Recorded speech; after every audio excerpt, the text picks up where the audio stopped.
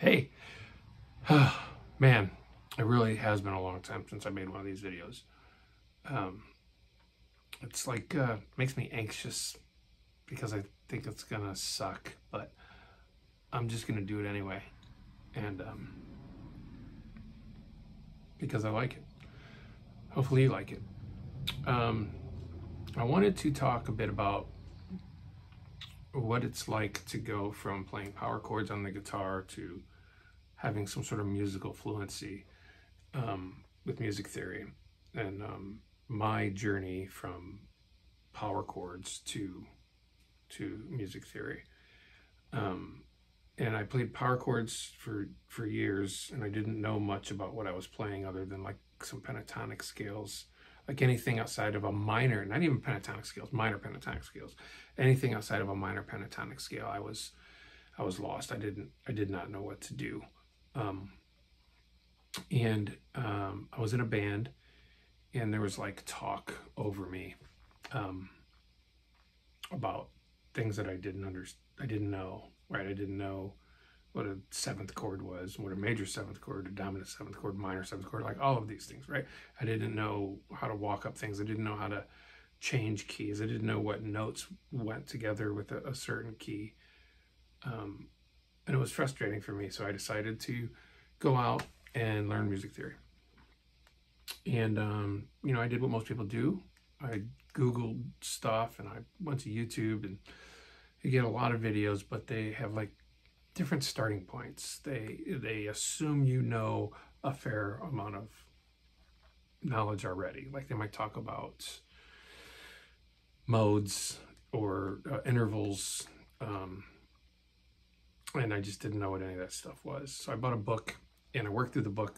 That worked really well for me. Some people can buy a course and go through the course, and that's fine. The book just seemed to match my brain the best. So I thought it would have been cool if I would have had a video um, that just walked me through these are the things you need to know. Learn these things, uh, master them, and then move on to the next thing. Um, would have been really, really helpful. And I have a bunch of topics here. And then about four, starting with um, beginning music theory major scale stuff and then ending on like scales. Um, so you learn how to like solo over certain chords and stuff. I think I can only probably get through the major scale part in this video without it being super, super long. Um, so that's what I'm going to do. And most of the time we use the key of C to explain this stuff because it doesn't have any um, sharps or flats, and that's that's fine, right?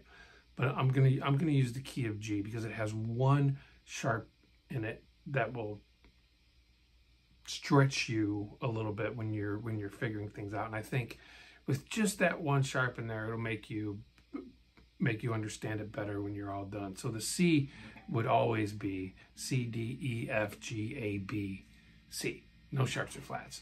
G is really similar that's going to be G, A, B, C, D, E, F sharp, and G. And I'm going to go through that stuff so you don't have to remember all those notes I just threw at you.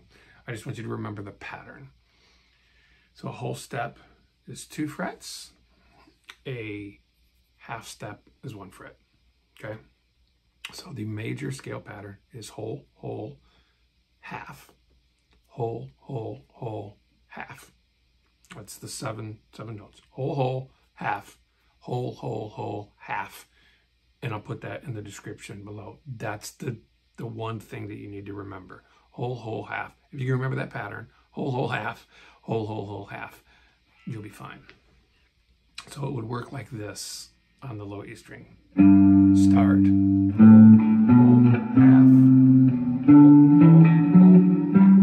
You can hear the do re mi thing, right?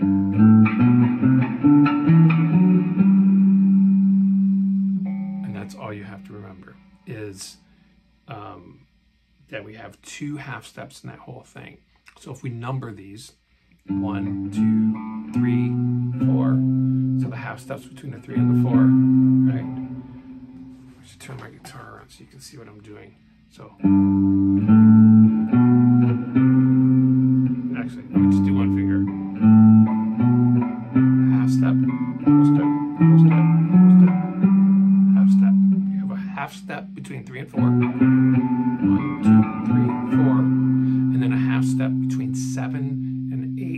Seven in the root. One, two, three, four, five, six, seven, eight. Oops, seven, eight. And that's it. And that's what that's the major scale. In every in every key, and everything is going to build off that. All of your chords, all of your scales, all of your modes, minors, majors, diminished, like all of the fancy things that you're going to read on the internet are all based on that one thing. So here's what I would do. I would practice that on one string, right? Whole, half, whole, whole, half. And I would get that under my fingers in, in any key. Like we're just doing it in G right now, but you can do it. You can start here. This is D. Right? Now, once you start doing that on one string and you go all the way up, then you start to kind of move it around? Right?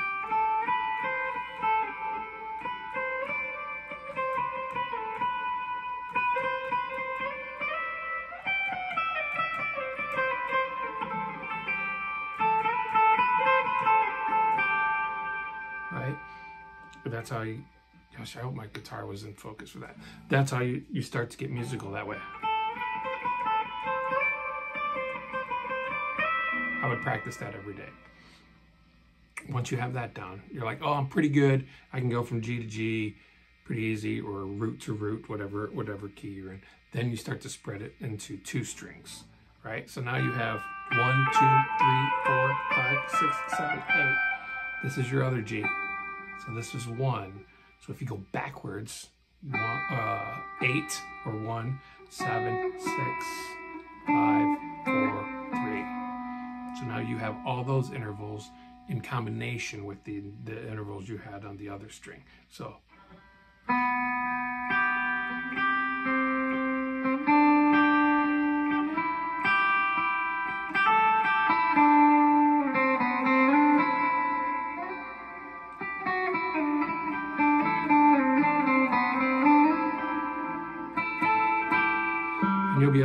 start to hear really cool sounding things.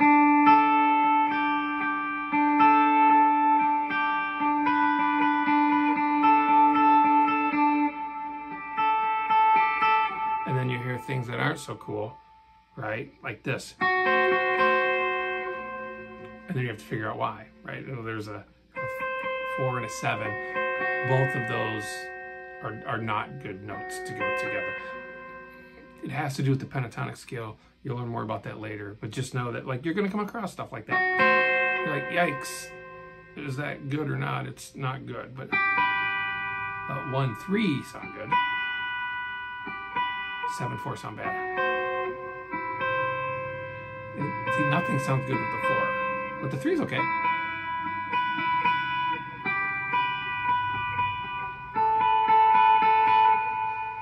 But you'll figure figure all that out.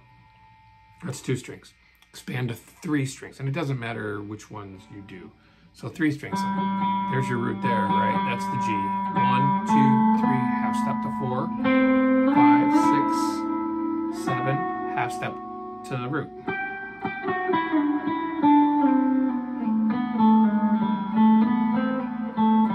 See, I hit the wrong note in there. You'll start to hear those. Those will really start to stand out to you you should automatically hear well that's not that's not in the scale. Right? Now you can start to put three notes or three strings together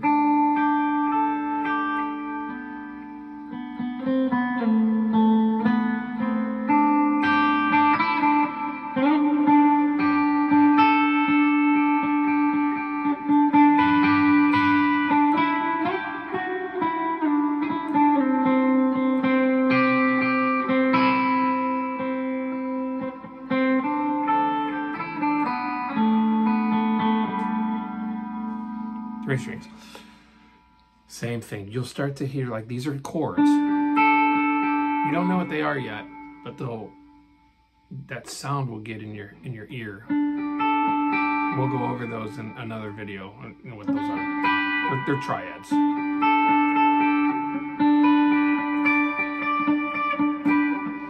Okay. I'll keep going. Four strings, five strings. Eventually, you're going to get to all six strings. And here is where um, most people might start with the major scale, and I I say you should end here. So we're going to go one to two notes per, or uh, two to three notes per string all the way up. So one, two, three, remember half step four, five, six, seven, half step root,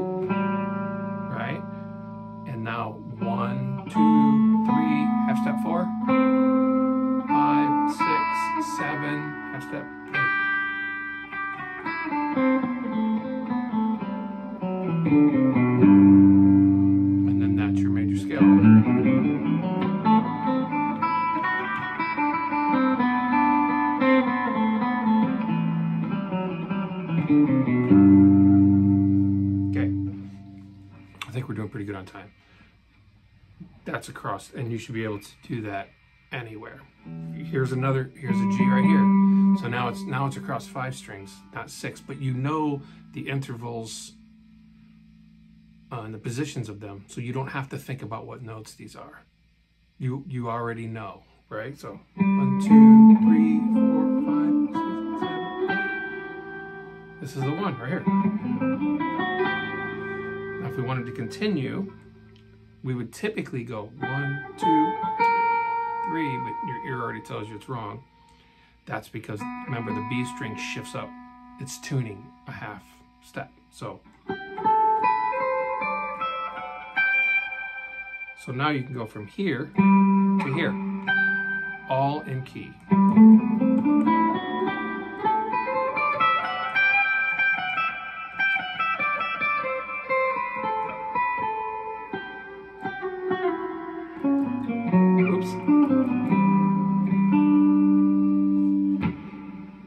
That's it.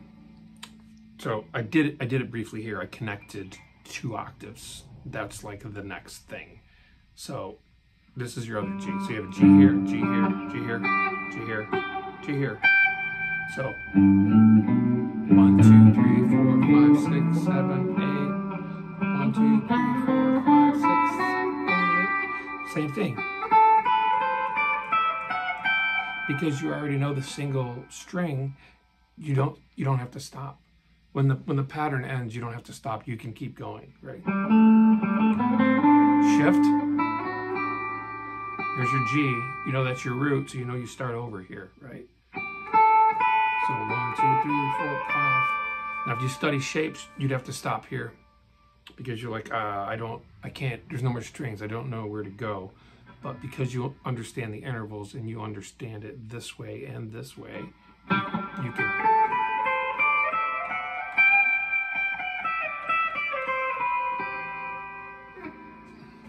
like that. I would learn that in every key across the neck. So no matter where you are, you're playing a D. Doesn't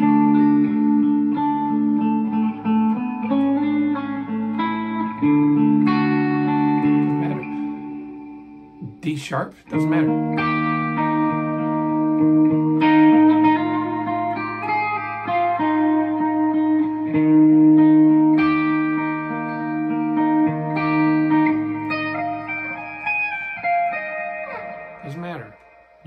Pick it up anywhere. So if you're looking to get into music theory, that is exactly where I would start. And I hope to do more of these. Um, this was helpful to you. I would like to know. Um, if you thought it sucked, I'd like to know that too. Um, I I think it would be helpful to me starting out. And if there's there's anything I did in here that was confusing, just ask me. I will explain it to you the best I can. Um, and that's it. So the next one I think I'll do are diatonic chords, um, which will take the key, you know. Through. I'm not doing them all, but I'll, sh- I'll show them to you next time. Uh, cool. See you later.